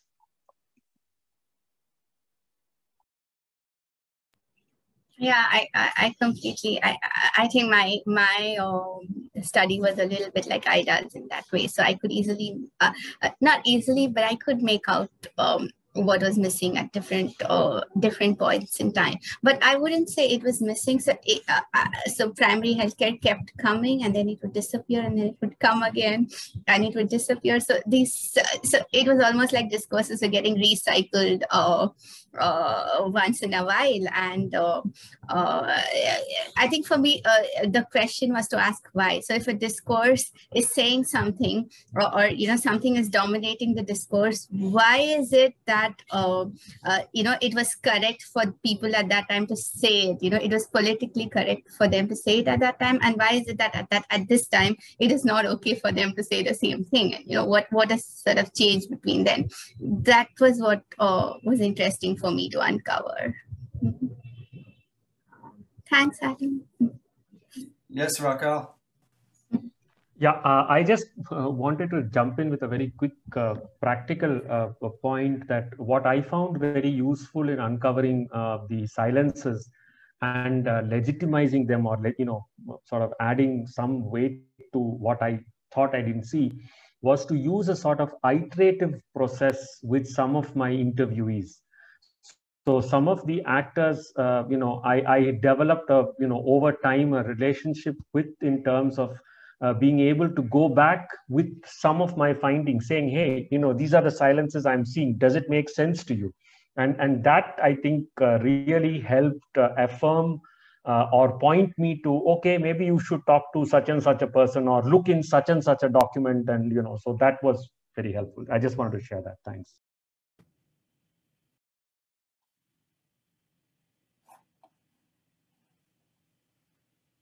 Thanks, Rakhal. Am I back? I, I froze a little bit, I think.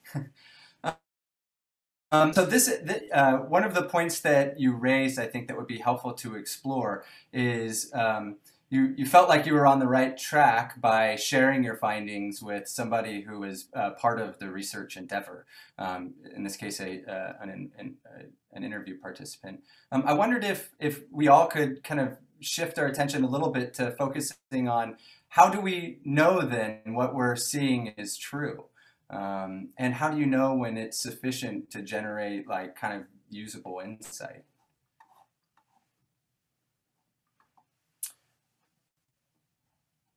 Um, how about uh, uh, Ida? yeah, I was just about to unmute. um, I think for me, it was a conversation with my supervisors. Um, so initially, I started with a very bulky Excel document when I did the coding process. And in that Excel document, I, I had one column that was just notes on what I think, you know, this could generate. So what narrative or, or what level of, you know, thinking I was at at that moment. Um, and then sharing that bulk document with, with one of my supervisors and sitting and thinking about how to partition the narrative and what makes sense in that, se in that way. Um, I think that helped me um, you know, think about whether what I had found made sense. Um, what also helped me was that I had a, a, high number of documents. So after doing, you know, 20 or so documents, you start to see a pattern emerging in some sort of way. That helped a little bit. But the conceptualization at the end, so what I had at the end, that, that table that I showed, that took a long time of conversation and also writing the paper. So once I started writing the paper, I realized, you know, how do you actually put in this narrative? And what do you want to start with? What do you want to end with? And that forces you to to think about the data that you have and the best way to maximize it. So one of the things i realized actually is when i looked at annual reports of provincial sectors i could very easily see how my policy had changed over one year two years. Um, and that you know schematic that diagram becomes a very clear picture of you know what you're seeing is is what's happening because you can show from the data itself. So that's how i i went through my process.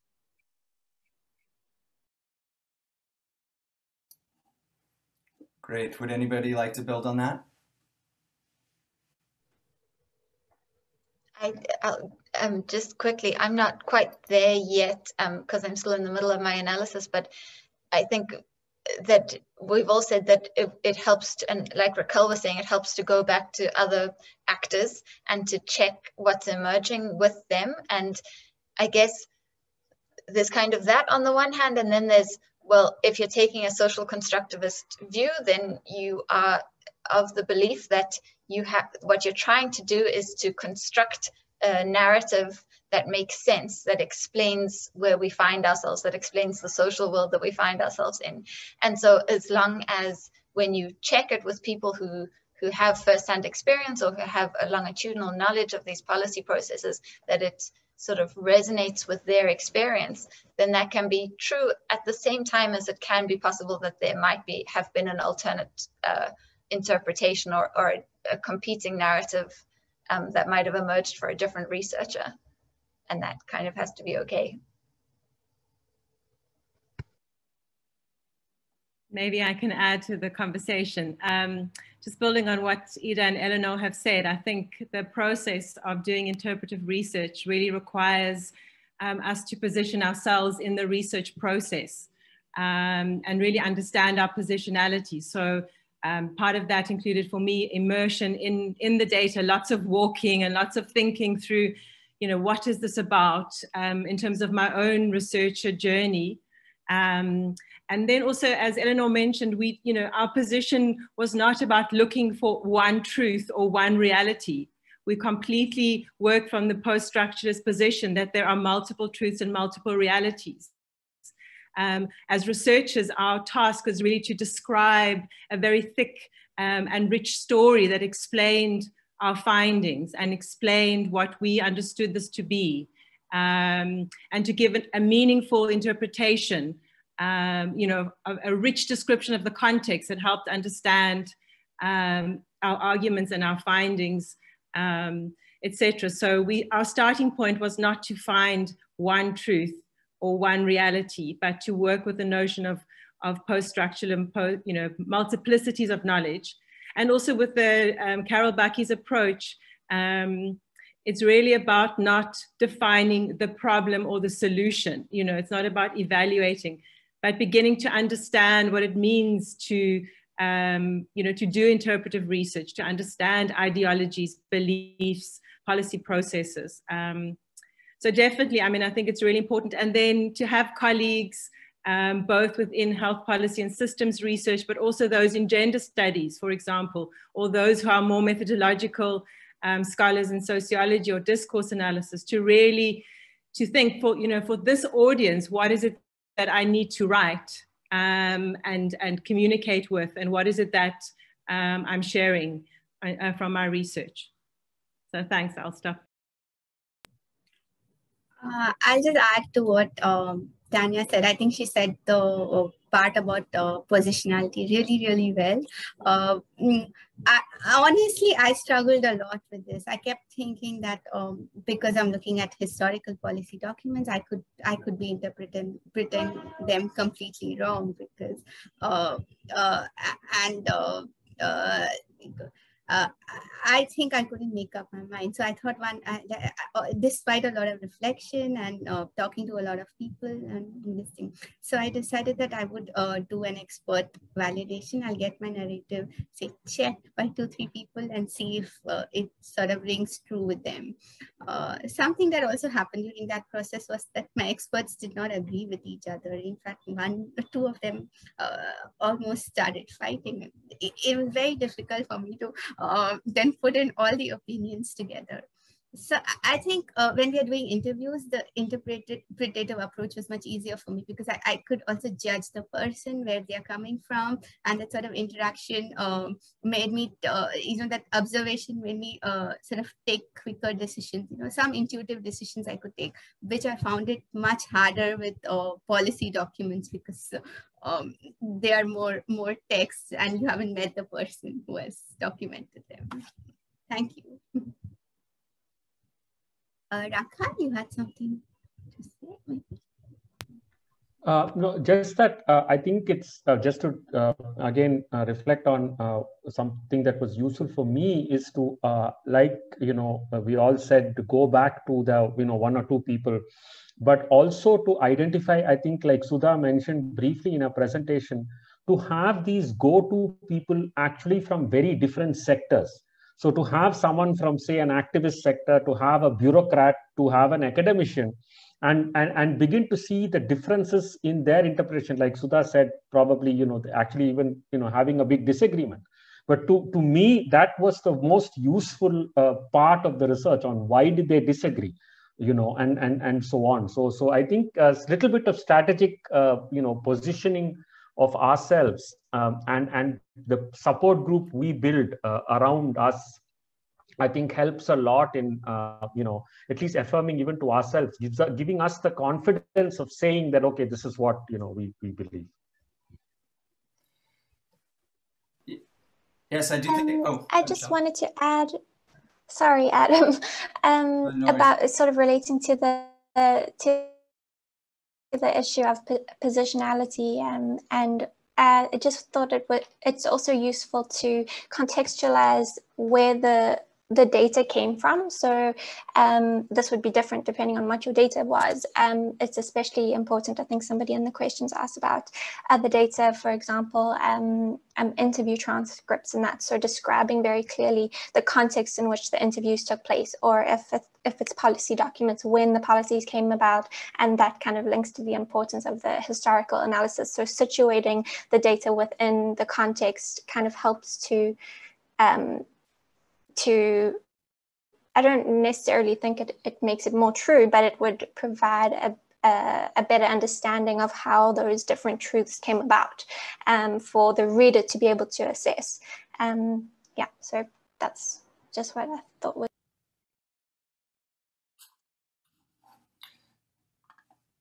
Yeah, thanks. I think this is a helpful discussion, and you know, one of the, one of the ways I, I know for my myself how I can kind of um, come to an interpretation of conflicting pieces of data or rival accounts of the policy process is oftentimes um, is you know in ethnographic inquiry. You're oftentimes in pursuit of kind of these elements of thick description people that can tell you lots of details and do some of the interpretive work linking to these broader concepts provide pretty pr convincing accounts of of why things are happening. And oftentimes this insight is only generated through first experience. Um, so while I, I, while I think it's important to remain critical, um, there are people who know a lot more about something than somebody else. Doesn't mean their interpretation's right, but uh, it's hard. It's oftentimes those thicker, more detailed accounts are hard to dispute. So talking about um, kind of trustworthiness and interpretation and um, and issues on kind of the tail end, we typically associate with the tail end of research. But there's still quite a few questions on the front end of the research. Um, and because this is kind of an abductive logic of inquiry, where we cycle back and forth between data and text and theory, um, I was wondering if you all could reflect a little bit on how you got, how you did get kind of research off the ground. And this might be for somebody who's maybe just started a PhD program or interested in applying to one or um, fairly uh, new to this type of research and is like, where do I begin? Does anybody want to talk about um, how they identified sources or um, where what they use as their starting point? Um, and there are questions about the specific sources, whether the social media can form a basis of this, whether it's media transcripts themselves, reports, um, you know, how you decide to interview versus use documents to inform your analysis. Hmm. Um, I think I can, I can go first. Um, so for me, I when I came into the PhD program, I stumbled upon this policy issue literally by going to a, a meeting of stakeholders um, who were debating about particular strategies for this specific policy. And so my entry into the field was through the observation of a policy process and repeated observations before I could even construct my research proposal. Um, so then all I had at that time was meeting agendas and meeting um, transcript, well, records of meetings, um, and then some policy documents that had emerged from those specific meetings. And so it made sense for me to begin with the policy documents because once the research proposal was approved, that was the first source of data I had uh, while waiting and while trying to decide actually who the interview respondents would be and so the, the documents for me was an exploration of, of, the, of how the rest of the research process would unfold, which actors would I interview, where to start. Um, and so I started with policy documents. But what happened was because I took such a long time, you know, to, to analyze, to do this discourse analysis, that the interview started catching up to the policy documents. And so it, it allowed for that loop. So then I could piggyback, I could ask interview info informants about any extra documents. I could show them the list of what I was analyzing and ask whether there, was documents I was missing and where to go from that. So that's how I, I did my process. It just happened that you know that that was what practically made sense for me and ended up working out but because i was analyzing a policy that was unfolding quite quickly i then towards the end of my interview after the interviews were done and just before the thesis was written i had to go back to the new documents that had been released that i hadn't done in the initial analysis um, and then to confirm that the story was all complete um, and that's how i i did it in my study thanks adam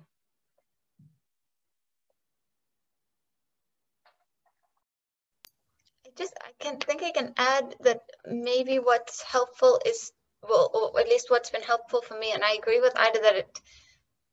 I think as much as one tries to sort of lay out, and I know not all PhD programs work like this, but and not everyone who does discourse analysis does it for their PhDs, but um, that it, although you know one tries to lay out your methodology at the start of your project and then follow it as as you laid it out um, but kind of maybe because of the of the nature of of what you're looking for the the need to start bringing in different sources kind of just happens as you start to read and as you start to immerse yourself. And one of the things that i think helped me a lot was to keep going and still i mean i still do this is to keep going back to the theory. So kind of I have like a body of theory on social values and a body of theory on discourse analysis and a body of sort of methodological theory on case studies. And keeping on going back to that is really helpful to kind of just as a reminder of like what's what's pos- what's possible what what different things you could be drawing in and what different ways you could be finding to analyze them or to compare them against one another. Um, and i think it's it's you know, that kind of iterative um, approach in which you are almost learning about the theory, sort of the learning of the theory um, and the learning of the content of your study go hand in hand um, because it really helps you to maybe deepen your analysis by constantly going back to your theory.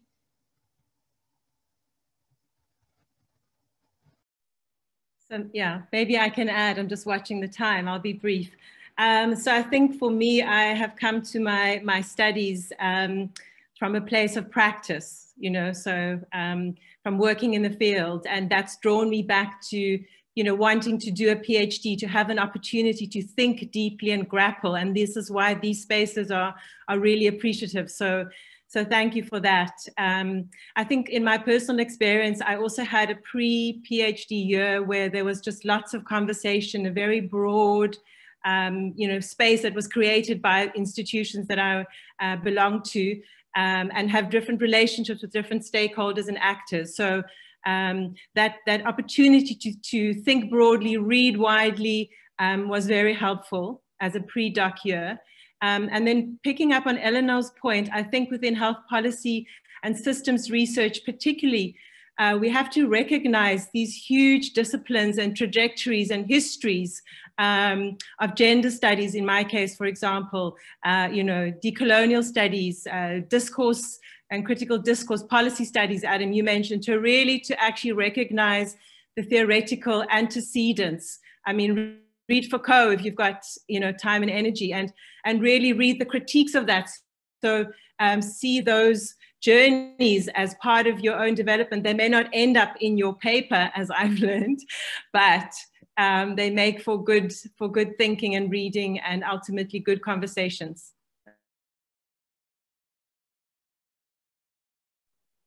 Thanks, Tanya. I just have a quick thing. I, I think like Ida, I didn't budget enough time for a discourse analysis. Um, uh, it uh, so in for for me the entry into discourse was because I was trying to answer this question on why PhDs were not getting uh, you know not uh, today were not what we visualize them to be and uh, i just thought i'll briefly look at the policy documents to see what's happening but that brief look just turned into a long, uh, a whole chapter in the PhD. And uh, it needed a lot of time for iteration. There was a lot of dissonance. There was a lot of incongruence that I had to come and deal with. So anybody who starts off, uh, you know, with this kind of methods, I would say budget enough time for that because it does take a lot of time to uh, go through these things and so you know uh, a lot of reflection and ideas. And then you, it's not just one method that exists. You have to adapt from different methods,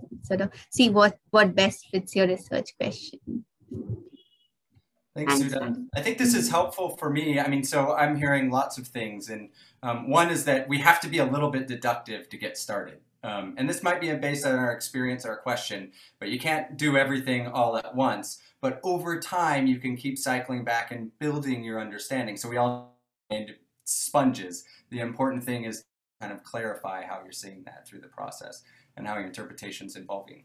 Um, Rakhal, I don't know if we have time for one quick, one more quick question. And that's, um, if, yeah, I think we could go ahead. We, I think we have 10 minutes to the okay. close, so you should, we could just take time to answer questions. That, that's fine. So what's really helpful, I think, about all of uh, all of the panelists' research is that they're at different stages, actually. Um, uh, so you're coming to this uh, meeting kind of through, um, you know, at a certain point in time, but it's not the same for the research endeavor. Um, so uh, looking back, um, if you would have uh, one thing that you could tell somebody, one short piece of advice who was um, uh, pursuing discourse analysis or other ideas-based modes of research, what would it be that you that you wish you would have known when you were getting started?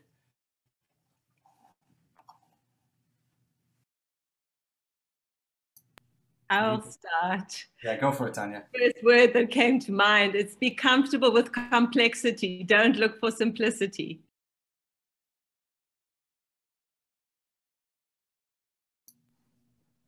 I can go next to, sorry, maybe to say just that everything takes, this process of sponging takes time because your brain, and maybe it's linked to Tanya's point, your brain takes time to make sense of complexity. Those um, it's not going to just leap off the page and into your brain and then you're going to write it up. Um, and so it's almost like you can't actually tell how long it's going to take before the ideas that you're seeing around you in the policy process start coalescing into a narrative that makes sense. And I think the biggest gift you can give yourself is just take the time you need, although, you know, in the modern world, it's really tough, but that it's that it takes its own time to make sense.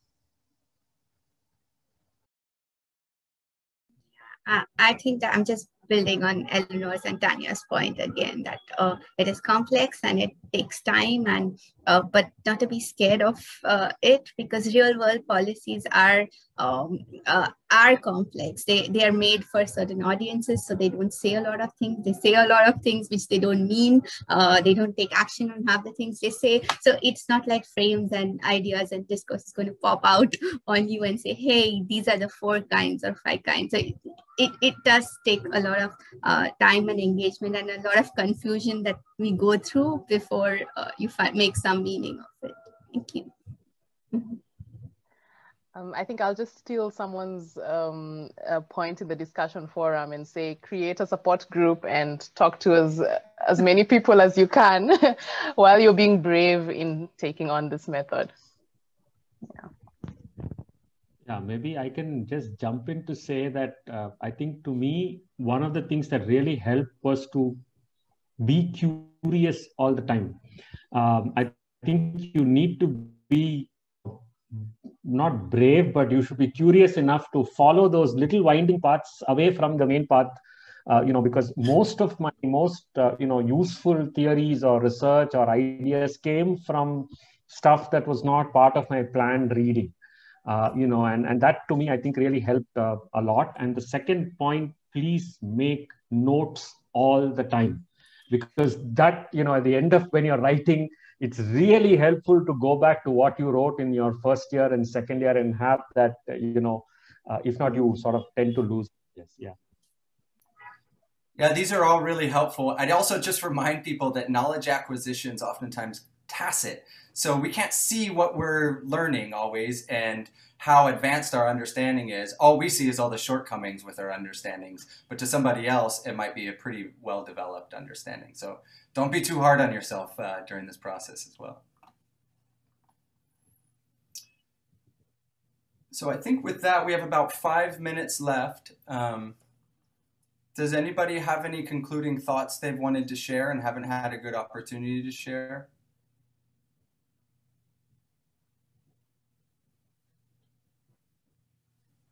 Can I, um, maybe this is almost a question for Adam, but in your intro, Adam, you said, you said um, institutions are congealed ideas. And I really like the way you phrased that. And I think we've been grappling maybe today with the tension between um, and I think one of the questions as well in the chat was that, you know, do ideas spur change or do they constrain change? Are they are they slow moving and, and path dependent and resistance, or are they the things that suddenly come up and and and you know bring about a change? And maybe if you want to share a reflection on just the yeah the complexities around that. Sure, and I think I think also the interest as being constitutive of ideas is complicated.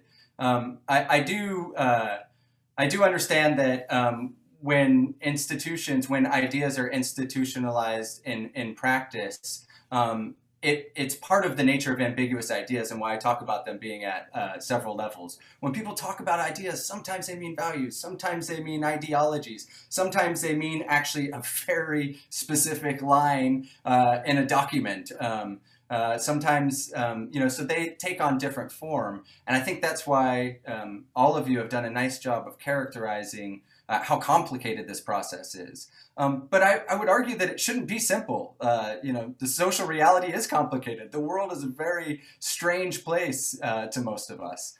Um, and so our analysis should, um, you know, reflect that um, and shouldn't be afraid of trying to uh, provide a situated understanding of that, that, that complexity.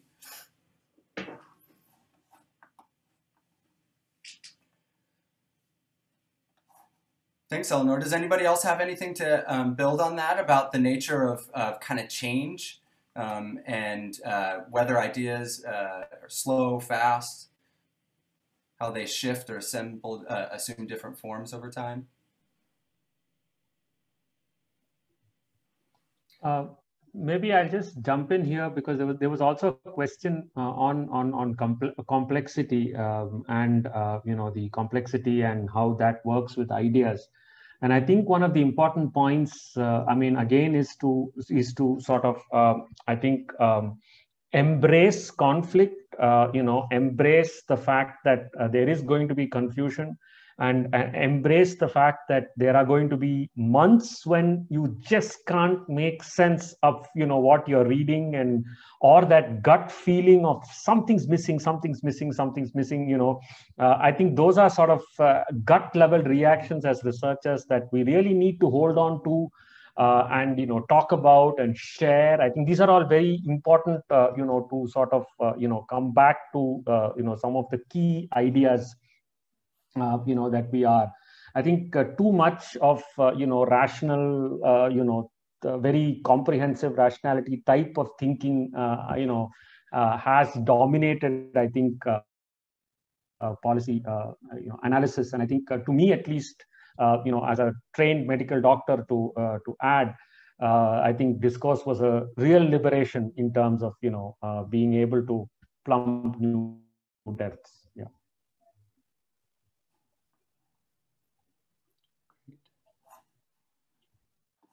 Well, thank you all. I've learned a lot through this discussion today as well. Um,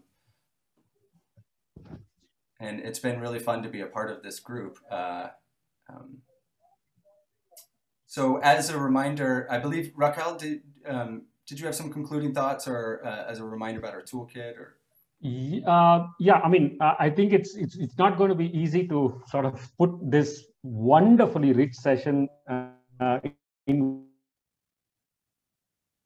which Oops. I think all of us have learned so much.